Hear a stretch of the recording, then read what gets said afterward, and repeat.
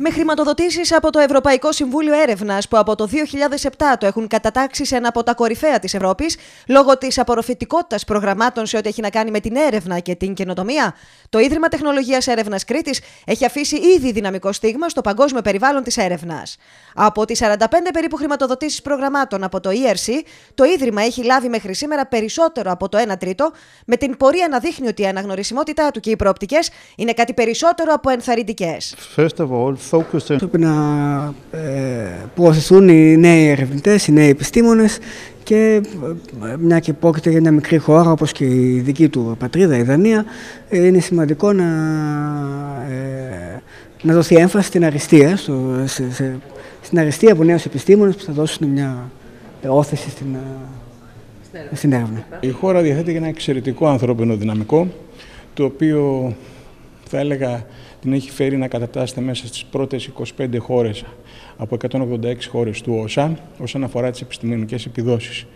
Είναι χαρακτηριστικό ότι πρόσφατα, την τριετία 14 με 16, η απήχηση των δημοσιεύσεων που προέρχονται από ελληνικά ιδρύματα, πανεπιστήμια και ερευνητικά κέντρα έχει ξεπεράσει σημαντικά το μέσον όρο της Ευρώπης και το μέσον όρο του ΟΣΑ. Σχεδόν τα μισά από όλα τα προγράμματα που έχουν έρθει στην Ελλάδα τρέχουν ε, σε, εδώ στο ΙΤΕ.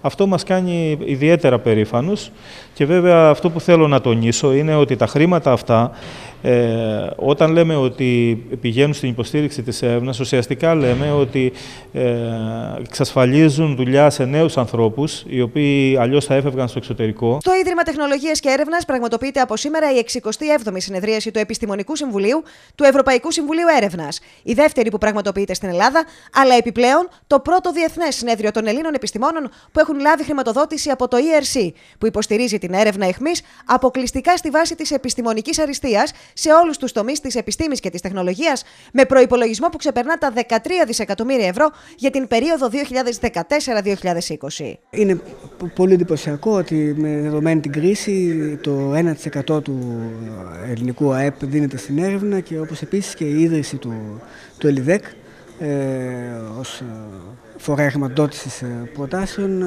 ε, με πρωτοβουλία της κυβέρνησης και είναι σίγουρος ότι ε, θα δούμε τα αποτελέσματα, θα είμαστε πολύ χαρούμενοι γι' αυτό σε 10 με 20 χρόνια. Το είτε ε, σε ό,τι αφορά ε, κοινοτικά κονδύλια είναι εξαιρετικά πετυχημένο. Μάλιστα συγκαταλέγεται στα κορυφαία της Ευρώπης σε ό,τι αφορά τη χρηματοδότηση του από εξωτερικές πηγές, η οποία φτάνει και το 80%.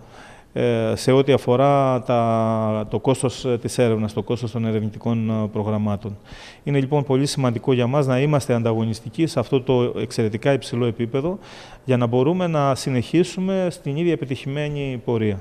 Αυτό που επισημάνθηκε πάντως είναι η ανάγκη να υποστηριχθούν περαιτέρω οι νέοι ερευνητές, προκειμένου να υποχωρήσει και η ροή προς το εξωτερικό νέων επιστημόνων, ενώ ταυτόχρονα να καλλιεργηθούν οι συνθήκες όσοι έφυγαν να μπορέσουν να επιστρέψουν και να ενισχύσουν τα ιδρύματα και την έρευνα στην πατρίδα τους.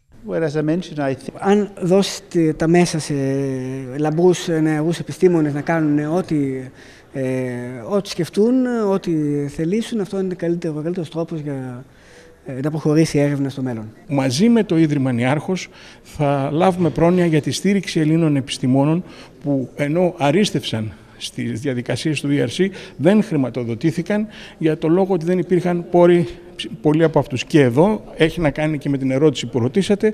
Ε, εκείνος στο οποίο στοχεύουμε είναι Έλληνες επιστήμονες που είχαν κάνει αιτήσεις για να πάνε σε ιδρύματα του εξωτερικού θα μπορούν να έλθουν στην Ελλάδα να επιτελέσουν αυτό το έργο το οποίο έχουν ζητήσει να κάνουν.